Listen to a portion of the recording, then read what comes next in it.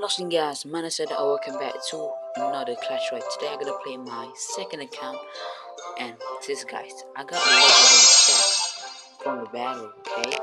Wait, sorry for the sound. I got a legendary chest from the battle, right?